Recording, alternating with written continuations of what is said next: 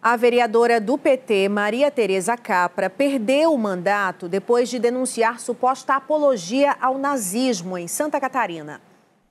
Após nove horas de sessão por dez votos a um, a única parlamentar do PT na Câmara Municipal de São Miguel do Oeste, em Santa Catarina, teve o mandato cassado por quebra de decoro parlamentar.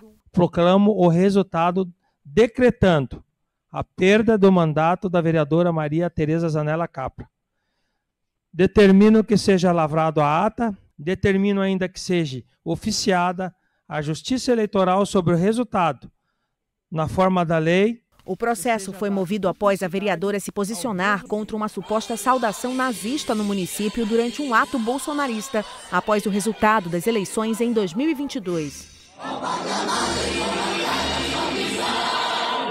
Para o Ministério Público de Santa Catarina, não houve apologia ao nazismo. Segundo o órgão, o gesto cultural é comum na região, relacionado a manifestações religiosas e juramentos. A defesa da parlamentar informou que vai recorrer. Boletins de ocorrência foram feitos, investigações estão sendo realizadas. Porque muitas pessoas, muitas pessoas pretenderam, além de pedir a cassação, também de agredir, de bater.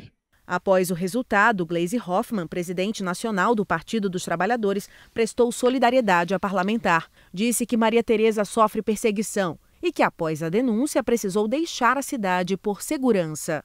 A Câmara Municipal de São Miguel do Oeste acusa a vereadora de ter praticado infração político-administrativa grave em nota, reforçou que o inquérito foi criado após a vereadora propagar notícias falsas e relacionar a cidade a um berço de célula neonazista. Em outubro do ano passado, na mesma região, uma operação da Polícia Civil prendeu seis integrantes de um grupo neonazista que produzia armas caseiras e planejava crimes raciais.